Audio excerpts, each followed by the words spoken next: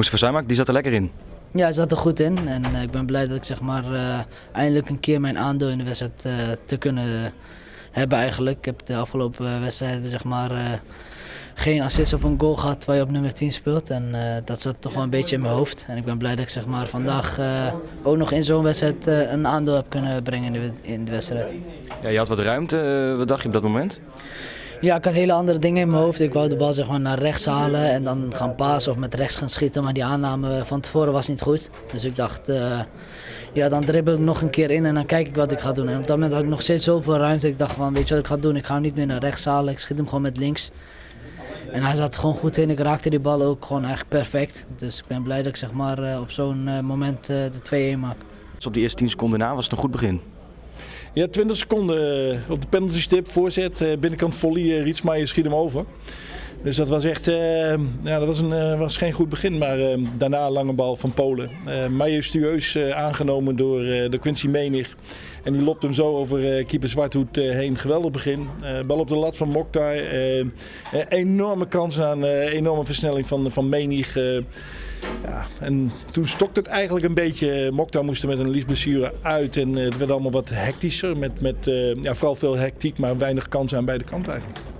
Ja, de, tempo ging wat lager. Go Ahead kreeg wat meer de bal. Ja, het is blijkbaar toch zoeken. Want uh, ik, ik vond aan de ene kant uh, dat we van achter dachten van... hé, hey, die lange bal op Menig, dat, dat werkt wel. Maar als je dat steeds doet en te vroeg, op de verkeerde momenten... en dat gebeurde te vaak... Ja, dan kun je als middenveld niet aansluiten. Dan, dan kun je niet echt druk zetten. Maar met de druk zetten vond ik dat we ook uh, te veel achteruit liepen. Met name de achterhoede. Maar de middenvelders stuurden elkaar ook niet door. En ja, dat hebben we de tweede helft vind ik veel beter opgepakt. En ehm, ja, dan zie je ook dat... Ehm, ja, ze hebben nog wel een hele goede kans gehad op ehm, de 2-2 nadat we met 2-1 voorkwamen. Maar dat wij de, nou, over de hele wedstrijd hebben we gewoon, vind ik, beter gevoetbald en meer gecreëerd dan, dan Go Ahead en verdiend gewonnen. Ja, we scoren een goede doelpunt. En Jonas Mokta schiet nog op de lat en uh, Quincy Menig gaat nog een 1 op 1 kans die hij overschiet. Dus als je daar een beetje mazzel mee hebt, scoor je twee of drie keer en dan uh, is de wedstrijd gelopen. Dus nu hielden we zeg maar, de go-ahead uh, een beetje nog in het spel, zeg maar, dus in leven. En ik ben blij dat we gewoon 3-1 hebben gewonnen. Ook hebben we het zeg maar, niet zo uitgespeeld als hoe we het eigenlijk heel graag wouden. Het is wel een mooi moment hè dat iemand na een kruisbandblessure uh, best moeilijk heeft. Fysiek ook, de vorm zoeken, dat, dat, is nog niet stabiel, dat is heel logisch. En zeker ook als je de eerste helft ziet dat we veel op en neer moeten lopen, dan heeft hij het als, als team best moeilijk. en dan neemt hij een bal eigenlijk half verkeerd aan. En dan schiet hij met 25 meter met links in de kruising. En dat is zo mooi voor hem. Omdat je weet wat je ervoor moet doen om weer terug te komen. En uh, dan ook nog in deze wedstrijd. Dus dat, dat, was, wel, uh, dat was wel een hele speciale. En ja, die 3-1.